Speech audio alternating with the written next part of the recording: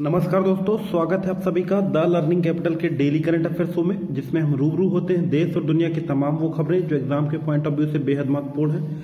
तो चलिए आज का हम शुरू करते हैं दोस्तों। आज का पहला क्वेश्चन है, विश्व मलेरिया दिवस कब मनाया जाता है? World Malaria Day observe on option दिए गए हैं, तेईस अप्रैल, चौबीस अप्रैल, पच्चीस अप्रैल और इनमें से कोई नहीं। दोस्तों, आपको बता दें कि प्रत्येक वर्ष पच्चीस अप्रैल को 25 अप्रैल को विश्व मलेरिया दिवस माना जाता है। और यह दुनिया भर में मलेरिया के लिए, मलेरिया के जागरूकता के लिए दिवस 25 अप्रैल को मनाया जाता है। दोस्तों, आपको बता दें, मलेरिया बीमारी प्रोटोजोआ, परजीवी के कारण होता है, और इसके परजीवी का नाम है प्लाज्मोडियम प्लाज्मोडियम। दोस्तों, आपको बता दें कि 24 अप्रैल को मनाया जाता है राष्ट्रीय पंचायती राज दिवस, पंचायती राज दिवस, और आपको बता दें कि तिहत्तरवें संविधान संशोधन उन्नीस सौ बानवे के द्वारा पंचायती राज को संवैधानिक मान्यता दी गई थी और इसे संविधान की अनुसूची 11 में शामिल किया गया था और पंचायतों को 18 विषय प्रदान किए गए हैं। दोस्तों, इस दिवस पे 24 अप्रैल को प्रधानमंत्री ने वीडियो कॉन्फ्रेंसिंग के माध्यम से दो प्रमुख योजनाएँ प्रारंभ की। उनमें से है ई ग्राम स्वराज और ई ग्राम स्वराज और स्वामित्व योजना। पंचायतों के सशक्तिकरण के लिए ये दोनों योजनाएँ प्रधानमंत्री श्री मोदी जी के द्वारा प्रारंभ की गई नेक्स्ट क्वेश्चन देखते दोस्तों, नेक्स्ट क्वेश्चन है। हाल ही में राष्ट्रव्यापी सामुदायिक आउटरीच अभियान किसके द्वारा प्रारंभ किया गया? ऑप्शन दिए गए हैं Reliance Foundation Tata Trust Foundation Azim Premji Foundation और ईशा फाउंडेशन तो दोस्तों, हाल ही में टाटा ट्रस्ट फाउंडेशन है। टाटा ट्रस्ट ने कोविड 19 के प्रसार को रोकने के लिए ग्रामीण क्षेत्रों में सरकार द्वारा प्रचारित स्वास्थ्य सेवाओं को अपनाने के लिए एक राष्ट्रव्यापी सामुदायिक कार्यक्रम प्रारंभ किया गया है। टाटा ट्रस्ट फाउंडेशन के द्वारा। और इसका नाम रखा गया है पाँच कदम कोरोना मुक्त जीवन। पाँच कदम कोरोना मुक्त जीवन। नेक्स्ट क्वेश्चन देखिए दोस्तों, नेक्स्ट क्वेश्चन है। हाल ही में किस सशस्त्र बल के द्वारा ई कार्यालय ऐप लॉन्च किया गया? ऑप्शन दिए गए दोस्तों, B S F, C R P F, I T B P और सी आई एस एफ़। दोस्तों सीआईएसएफ के द्वारा सेंट्रल इंडस्ट्रियल सिक्योरिटी फोर्स ने कोरोना वायरस के संक्रमण को रोकने के लिए एक ई ऑफ़िस एप्लीकेशन लॉन्च किया है, जो फिजिकली कांटेक्ट के बिना फाइलों और दस्तावेजों की आवाजाही को सक्षम बनाता है। और ये प्रारंभ किया दोस्तों C S F Central Industrial Security Force इसकी स्थापना हुई दोस्तों वर्ष उन्नीस में और वर्तमान में जिसके डायरेक्टर जनरल हैं Shri Rajesh Ranjan. ITBP Indo Tibetan Border Police Force स्थापना हुई वर्ष उन्नीस पे और वर्तमान में इसके जो डायरेक्टर जनरल हैं Shri S S Deswal S S Deswal CRPF Central Reserve Police Force स्थापना हुई वर्ष उन्नीस में और तो वर्तमान में इसके जो डायरेक्टर जनरल हैं, Shri Anand doctor A P Maheshwari Anand Prasad Maheshwari BSF Border Security Force स्थापना हुई वर्ष उन्नीस में और वर्तमान में डायरेक्टर जनरल है श्री विवेक कुमार जौहरी। नेक्स्ट क्वेश्चन देखते हैं दोस्तों नेक्स्ट क्वेश्चन है। दुनिया की पहली एट होम कोविड 19 परीक्षण किट को किस देश ने मंजूरी दी? है ऑप्शन दोस्तों, चीन, अमेरिका, स्पेन और इटली। दोस्तों पहली, दुनिया की पहली एट होम कोविड नाइन्टीन परीक्षण किट को अमेरिका ने अमेरिका ने मंजूरी दी है।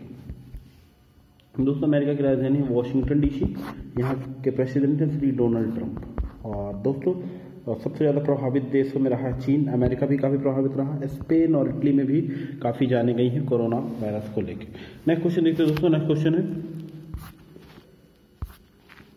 हाल ही में हुड को Housing and Urban Development Corporation के अध्यक्ष और एमडी मैनेजिंग डायरेक्टर नियुक्त किए गए हैं। ऑप्शन दिए गए दोस्तों। विनोद कुमार यादव, शिवदास मीणा, सुधीर भार्गव और प्रदीप सिंह खरोला। हाल ही में शिवदास मीणा को शिवदास मीणा को आवास और शहरी विकास निगम के अध्यक्ष और मैनेजिंग डायरेक्टर प्रबंध निदेशक के रूप में चुना गया है। दोस्तों यह भारत सरकार की एक स्वायत्त कंपनी है।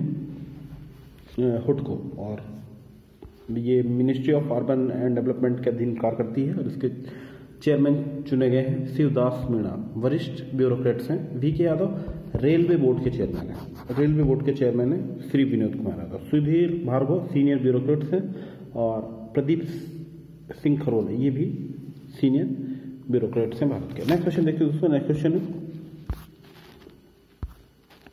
निम्न में से किस देश ने अपने मंगल अन्वेषण मिशन को का नाम तियानवेन वन रखा? ऑप्शन दिए गए दोस्तों यूरोपियन यूनियन अमेरिका रूस और चीन। तो दोस्तों, चीन ने मंगल मिशन जिस, जो प्रस्तावित है दिसंबर 2020 में, उसका नाम रखा है तियानवेन वन। चीन, भारत अमेरिका रूस तथा यूरोपियन यूनियन के बाद। मंगल पे कदम रखने वाला देश बन जाएगा और इस तरह से पाँच देश हो जाएँगे जो जिनका, जिन्होंने मंगल मिशन को सक्सेसफुली लॉन्च किया दोस्तों, भारत में वर्ष 2014 में Mangal mission mission of Mars launch किया था और सक्सेसफुली उसको लॉन्च किया था इसरो ने। और इसको, इसरो की P S L V C twenty five के ज़रिए polar satellite which launching vehicle C four twenty five के ज़रिए इसको लॉन्च किया गया था वर्ष 2014 में। नेक्स्ट क्वेश्चन देख लो दोस्तों नेक्स्ट क्वेश्चन है। हाल ही में ऊषा गांगुली का निधन हो गया। उनका संबंध किस क्षेत्र से है? ऑप्शन दिए गए हैं दोस्तों, पत्रकारिता, रंगकर्मी, इतिहासकार और साहित्यकार। तो भारत की जानी मानी रंगकर्मी, ऊषा गांगुली का हाल ही में निधन हो गया। है यानी इनका संबंध हुआ दोस्तों, रंगकर्मी। नेक्स्ट क्वेश्चन देखते दोस्तों नेक्स्ट क्वेश्चन है।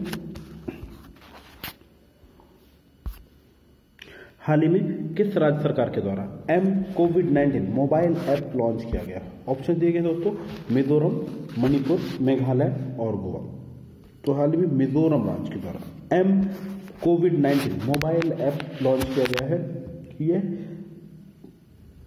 ड्राइवरों और जो ड्राइवरिंग अप्रेंटिस के लिए ऑनलाइन पास के रूप में कार्य करेगा ये ऐप और ये किस राज्य में लॉन्च किया दोस्तों? मिजोरम। मिजोरम की राजधानी दोस्तों आइजोल यहाँ के सीएम है श्री जोराम थंगा जोराम थंगा। गवर्नर है श्रीधरन पिल्लई श्रीधरन पिल्लई।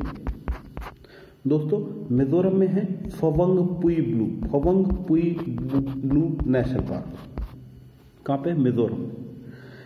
गोवा भारत का एक ऐसा राज्य है जहाँ पे अभी एक भी single COVID 19 corona virus positive व्यक्ति नहीं मिले हैं गोवा में। यानी पहला ग्रीन राज्य है भारत का, गोवा। नेक्स्ट क्वेश्चन देखिए दोस्तों नेक्स्ट क्वेश्चन है। Mobile virology research and diagnostic प्रयोगशाला एम का उद्घाटन किसके द्वारा किया गया है? ऑप्शन दिए गए दोस्तों। श्री नरेंद्र मोदी, अमित शाह, राजनाथ सिंह और डॉक्टर हर्षवर्धन। हाल ही में भारत के रक्षा मंत्री श्री राजनाथ सिंह जी के द्वारा वीडियो कॉन्फ्रेंसिंग के माध्यम से कोविड 19 का परीक्षण करने के लिए mobile virology research and diagnostic laboratory का उद्घाटन हैदराबाद में किया गया। कहाँ पे किया गया दोस्तों? हैदराबाद में। और इसे विकसित किया है DRDO, defence research development organisation. और डीआरडीओ की स्थापना कब हुई दोस्तों? वर्ष उन्नीस वर्तमान में इसके चेयरमैन है जी सतीश रेड्डी। और इसका उद्घाटन किया है भारत के रक्षा मंत्री श्री राजनाथ सिंह। प्रधानमंत्री नरेंद्र मोदी जी हैं, अमित शाह, भारत के गृह मंत्री हैं, डॉक्टर हर्षवर्धन, ये भारत के स्वास्थ्य मंत्री हैं और विज्ञान एवं तकनीकी मंत्री भी हैं, डॉक्टर हर्षवर्धन। नेक्स्ट क्वेश्चन देखते हैं दोस्तों नेक्स्ट क्वेश्चन है। हाल ही में चर्चा में रहा, अंबुबाची मेला किस राज्य में आयोजित किया जाता है? ऑप्शन दिए गए दोस्तों, असम, अरुणाचल प्रदेश, सिक्किम और त्रिपुरा। दोस्तों अम्बुबाची मेला प्रत्येक वर्ष गुवाहाटी के गुवाहाटी के प्रसिद्ध कामाख्या मंदिर जो एक शक्तिपीठ है प्रतिवर्ष आयोजित किया जाता है। और यह असम का, का बहुत बड़ा मेला है अम्बुबाची मेला। यानी इस प्रश्न का उत्तर हो दोस्तों असम। असम का पारंपरिक त्योहार है दोस्तों बिहू। असम की राजधानी दोस्तों दिसपुर। सीएम श्री सर्वानंद सोनोवाल। सर्वानंद सोनोवाल गवर्नर है यहाँ पे, श्री जगदीश मुखी। असम में दोस्तों नेशनल पार्क है, मानस मानस नेशनल पार्क प्रसिद्ध नेशनल पार्क है असम में। नेक्स्ट क्वेश्चन देखते हो दोस्तों, नेक्स्ट क्वेश्चन हो हाल ही में संपर्क दीदी नामक मोबाइल ऐप किस राज्य सरकार ने लॉन्च किया? ऑप्शन दिए गए हैं, उत्तर प्रदेश, हिमाचल प्रदेश, पश्चिम बंगाल और उत्तराखंड।